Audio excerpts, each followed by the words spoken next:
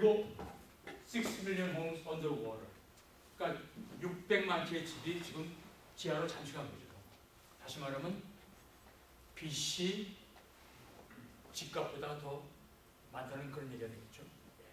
그래서 지금 그 당시에 가장 중요한 건 critical weakness는 뭐냐면은 가장 중요한 그런 그 자체가 바로 그 밑에 나옵니다. 바로 herd mentality죠.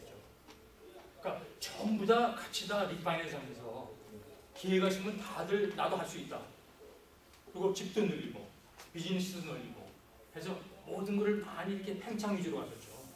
사실은 쉽게 말하면 공격 위주로 간 거죠. 근데 그 당시에도 자기 자신의 그, 그걸 잃지 않고 수비 위주로.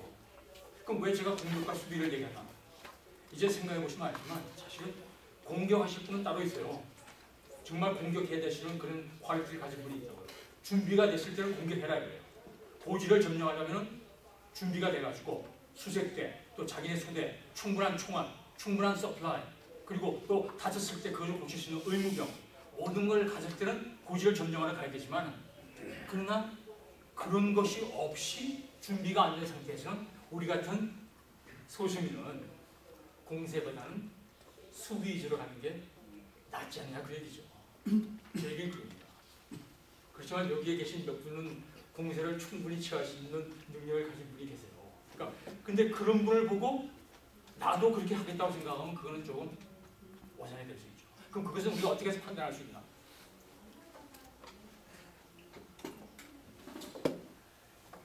이 상황에서 조금 제가 조금 전에는 그 이 상황에 있는데 조금 미국 경제에서 한번 얘기를 하겠습니다. 미국에 미국을 대표하는 다섯 개의 top investment bank가 있었어요. top 다섯 개 investment bank. 그 중에서 세 개 정도 이렇게 아시는 분 한 손 들어보시죠. investment bank 다섯 개, 세 개. Goldman Sachs, Goldman Sachs, 예. Morgan Stan, Morgan Stanley 또, 그다음에 뭐 베어, 베어스, 아또 하나 더, 리만 브런스만 이름만 불렀어 또 그리고 아 보세요. 바로 이분이 웨인 챔입니다. 서울대학교 공대 수석으로 졸업하고 저보다 1년 위니까 예비고사가 첫 테스트에 있을 때 그때 예비고사 수석 합격자예요. 어? 그 머리가 보통 머리가 아니죠. 예. 그런 분이 우리 CBMG 있다는 건 얼마나 자랑스러운지. 그럼 제가 왜 그렇게 했냐면요. 생각해 보십시오. 여러분, 우리가 생각할 때, 아, 비즈니스 너무 어렵다. 그러는데, 그렇다면 미국을 대표하는 기라성 같은 다섯 개의 investment bank는 어떻게 됐나? 그걸 보면 미국 경제의 흐름을 한눈에 알 수 있죠. 첫째, Goldman Sachs. 둘째, Morgan Stanley. 셋째, Merrill Lynch. 넷째, 리만 브라더스. 다섯째, 베어스턴스. 베어스턴스부터 시작하죠. 베어스턴스 회사는 미국에서도 약 150년 된 investment bank 중에는 가장 오래된 회사 중에 하나죠. 결론부터 얘기하면 그 얘기는 그 회사는 주식값이 100불 이상 하다가 어느 날 얼마로 떨어졌냐면 김창수 씨 얼마로 떨어졌어요? 천재야. 10불? 아니야. 10불 아니고 얼마로 떨어졌냐면 1불로 떨어졌어. 아니 베어스턴스 같은 그런 그 미국을 대표하는 그런 한국의 기업은 뭐 게임도 안 되는 그런 회사가 어떻게 100불 하던 주식이 1불로 떨어진다. 그 회사가 가면 망하면 곤란하니까 벤 버냉키하고 또 가이스널 그 재무장관하고 그 당시에 헨리 폴슨 재무장관 팀 가이스너가 그 당시에 미국 뉴욕 그 연방은행의 뉴욕 지역 사장이었어요. 총재였어요. Federal Reserve는 12개로 나눠진 거 아시지만 근데 그래가지고 베어스턴 죽이면 안 된다. 살리자. 그래가지고 그 사람들이 만들어낸 계획이 그럼 베어스턴 주식을 일불로 나눠주자. 제로 거 아직 없으면은 베어스턴스에 투자한 사람들 돈은 다 날라가니까. 그래서 일불로 해가지고 그 회사를 누구한테 주냐면은 누구한테 줄게요? 체이스맨한테 줬죠. JP 모간 체이스 한테 일불로 줬습니다. 나중에 베어스턴스 측이 그건 너무 심했다 가지고 다시 그 가격을 10불대로 그러니까 앞서 보시는 거지. 그 아래가 김창수 씨. 그래서 베어스턴스는 그래가지고 JP 모간 체이스에 넘어갔죠. 그때 또 무슨 회사가 있냐면 미국에서 branch banking으로 가장 많은 기, 가장 많은 branch를 가진 회사 중에 하나가 어디냐면은 바로 씨티죠. 근데 씨티보다 더 많이 있는 워싱턴 뮤추얼. 우리가 쉽게 말하면 WaMu. 옛날에 Home Savings 기억하시죠? 뭐 Glendale Federal, 뭐 California Federal 그를 다 먹었던 워싱턴 뮤추얼. branch banking에서 5,800개 지점을 가진 회사가 그 회사도 어느 날 갑자기 제로가 됐죠. 어느 날 갑자기 주식이 1불대로 떨어졌죠. 그럼 그 회사는 어디로 갔느냐? 네. 체이스로 갔죠. 체이스는 동부에 있으면서 어떻게 하는지 서부에 올라가고 그렇게 기다렸는데 서부에 아무런 발판도 없던 회사가 갑자기 어느 날 가보니까 곳곳에 체이스 간판이 쫙 들어왔죠. 그러니까 여러분 생각할 땐 한국적인 입장에 생각할 때 어떻게 해서 체이스라는 회사가 150년 된 베어스턴처럼 굴지의 investment bank도 접했고 또 워싱턴 뮤추얼 5,800개 branch network를 가진 그런 서부 최고의 은행을 택했고 우리 다시 한번 생각할 수 있죠. 질문해 볼 수 있죠. 그건 분명한 뉴스가 되지만 미국에서는 그렇게까지 뉴스가 되지는 않습니다. 왜? 법적으로 제대로 다 처리했으니까. moral이 문제가 아닙니다. 법적으로 서류를 맞춰서 제대로 처리했으니까 뭐라고 들어갈 수가 없습니다. 베어스턴은 그렇게 갖고 리만 브라더스 뭐 더 이상 얘기할 필요 없죠. 리만 브라더스 그냥 망했습니다. 리만 브라더스는 아무도 안 도와줬어요. 마지막에 리만 브라더스가 애소를 쳐가지고 헨리 폴슨 부시 정부의 그 재무장관한테 연락해가지고 마지막으로 도와다오 그렇게 할 때 그 벤 버냉키 연방중앙은행 총재하고 관련 사람이 리만 브라더스 총재가 도와줄 수 없다. 그리고 리만 브라더스는 정식으로 스트레이트로 그대로 bankruptcy 했어요. 단 bankruptcy 하기 마지막 전에 영국에 있는 바클리 은행이 바로 그 리만 브라더스의 중요한 그 asset을 바로 그냥 공짜로 먹었죠. 근데 지금 그게 법적으로 문제가 되고 있습니다. 참 미국이 재밌는 거는 법적으로 제대로 처리하면 마지막에 꼭 그게 돌아가요. 그리고 아까 전에 말씀하신 골만삭스. 그 골만삭스는 망하지 않았나? 골만삭스도 마지막 망하게 됐었죠. 근데 마지막에 어떻게 살아났습니까? 아시는 분 계세요? 마지막에? 마지막에 살아나면은 워런 버핏이 5 빌리언, 50억 달러를 줬죠.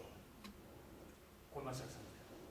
그리고 골만삭스한테 50억 달러 주고 그때 골만삭스가 뭘 했냐면은 investment bank는 예금을 받을 수가 없어요.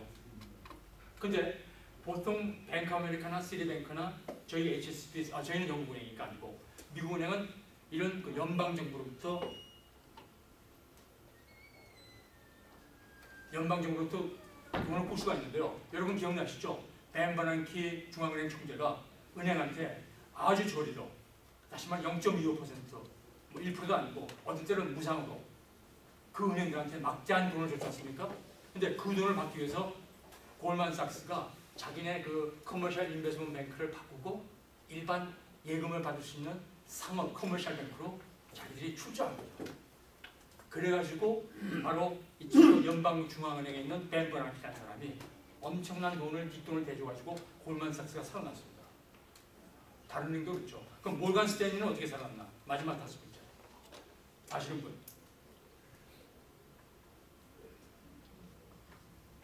제가 너무 일방적으로 이야기했습니다. 예, 몰간 스탠리는 어떻게 살았냐면 마지막에 도쿄 미스비시, 미스비시 뱅크 크루에서 몰간 스탠리의 주식을 22%를 샀습니다. 그러면서 모건 스탠리한테 그 돈을 수십억 달러 줬죠. 근데 왜 22%만 샀을까? 그 이유는 foreign corporation인 미국 회사의 기업체에 25% 이상 투자하게 되면 미국의 그런 관계 계약부터 모든 book을 audit를 받게 돼 있어요. 감사를. 그러니까 그런 감사를 받지 않기 위해서 항상 그러니까 여러분 아시죠? 여러분들 돈이 많으면 돈 꽂을 때 25% 이상 됩니다. 22%밖에 안 되죠. 자 그러면 종합하면은 이 다섯 개 은행은 골만삭스, 모건 스탠리, 그리고 리먼 브라더스, 아 메릴 린치가 있군요. 혹시 메릴 린치랑 거래하신 분 계세요? 역시 거래 오래 하셨죠? 예? 거래 오래 했죠? 아니요, 우리 이제 bank. 그렇죠. 네, 이제 커머셜. 메릴 린치랑 거래할 정도는 규모가 꽤 있다는 얘기죠. 예, 어, 메릴 린치는 어떻게 살아났냐면요. 메릴 린치가 악성 부채가 360억 원치 있었어요. 지금 제가 하는 거는 저번에 제가 CPA 그룹을 놓고 한번 그 세미나 드리거든요. 제가 그 숫자를 좀 기억을 하는데 360억의 악성 부채가 있었는데 그 당시에 CEO냐면 존 테인이라는 사람이에요. 존 테인. 이 사람이 들어가지고 360 봐주라. 오. 360억의 그 악성 부채를 말이죠. 어 지금 이거 메릴린치가 뱅크 아메리카 팔렸지 않습니까? 근데 뱅크 아메리카 팔리려면 어떻게 돼요? 자기 부- 자기 아셋이 깨끗해야 될 거 아니에요. 그죠? 그러니까 자기 asset을 깨끗하게 만들기 위해서는 자기 악성 부채를 정리해야 될 거 아닙니까? 그죠? 그러니까 악성 부채를 정리하기 어떻게 하냐면 이 336 billion 달러의 부채를 론스타 Corporation이라고 론스타는 원래 텍사스라는 얘기죠. 텍사스 국기 보면 별이 하나 않습니까? 바로 론스타. 그래서 론스타 Corporation은 우리랑도 관련이 있는 회사입니다. 아시지만 론스타 Corporation한테 이 30, 36 billion 달러의 부채를 6 billion 달러에 팔았습니다. 우습죠? 근데 들어보세요. 36 billion 달러의 그런 부동산, 반도, 돈꽂이 것들을 악성 부채니까 그거를 6 billion 받고 그 론스타 Corporation도 팔았다고요. 그러면서 어떻게 파냐면 파는 조건 중에 6 billion 중에서 1 billion down, 5 billion owner carry. 그러면 삼성한테는 야 이거 미친놈이다 우리말로 하면은 360억이나 되는 그런 자산 규모를 어떻게 60억 달러에 팔 수 있나? 그리고 실제 돈 받은 건 10억밖에 안 받고 50억 이거 이원찬이가 혹시 잘못 알고 있는 건 아닐까? 저도 그랬으면 좋겠어요. 근데 10억만 받고 50억 오늘 계속 팔았지 않습니까? 그렇게 함으로써 메릴 린치는 bankruptcy를 부를 필요가 없게 된 거죠. 그러니까 그 사람한테 중요한 거는 기업이 큰다 작다 아니라 일단 이 순간을 살아야 된다 이거죠. 소위 우리가 말하는 liquidation 정리하는 거예요 정리. 그럼 그렇게 해가지고 바로 케네스 루이스가 이끄는 뱅크 아메리카에 그게 팔렸죠. 그렇게 팔므로써 메릴 린치는 살아남는 거죠. 이제 간단하게 제가 설명을 드렸는데 그 위기에서 보면요. 메릴 린치, 리만 브라더스, 베어 스턴스, 골만삭스 그리고 모건 스탠리 미국을 대표하는 미국이 아니죠. 세계를 대표하는 top 다섯 개의 investment bank가 이렇게 해가지고 살아남았다는 얘기죠. 그러니까 거기서 살아남은 특히 존 세인이 메릴 린치 판걸 보면은 360억 달러의 자산을 60억 달러에 팔을 수 있는 그 배짱. 왜냐하면 60억 달러 안 팔면 메릴 린치 회사가 다 망하니까 망하면 꽝이잖아요. 그죠? 그러니까 그거 생각하세요. 그러니까 절대 절명에서 이건 우리한테 뭘 가르치냐면은 transformation. 다시 말하면은 비즈니스 하다가 정말 안 되잖아요. 그 끝까지 붙들고 있지 말라 이거죠. 옛날 한국에 이민 오신 분들 보면은 은행에서 보면은 한 비즈니스 하면서 거기다가 그냥 자기도 개런티 하고 와이프도 cosign 했고 심지어는 또 삼촌까지 들어가서 하고 자기 집도 잡히고 또 무슨 이 commercial building에 equity 있는 거 그것도 잡아놓고 하여튼 있는 그대로 은행에 다 줬죠. 기억나세요? 옛날에 계신 분도 그렇게 하신 분도 많습니다. 샌호세에서 그렇게 비즈니스 하신 분, 샌프란시스코에서 그렇게 비즈니스 하신 분들 지금 없어요. 왜? 다 망했으니까. 다 망했습니다. 그러니까 쉽게 하면 시티뱅크 오늘 얘기하죠. 시티뱅크 하는 거 얘기하면 시티뱅크 주식이 40%까지 해줬죠. 근데 망했을 때 시리뱅크 얼마까지 하면 35전까지 가졌죠. 35전. 요번에 벤 버난키 중앙은행 총재가 은행에게 앞으로도 이와 같은 최대의 불경기가 왔을 때 이것을 살려남을 수 있는 그 자본이 있느냐 그 테스트를 했죠. 19개 은행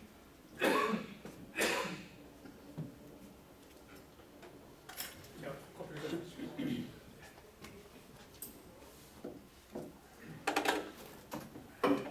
Do I make sense? 예, 오케이. 그랬는데 거기서 JP 몰간 체이스는 이 은행은 튼튼한 은행이라고 평가가 탁 나지 않습니까?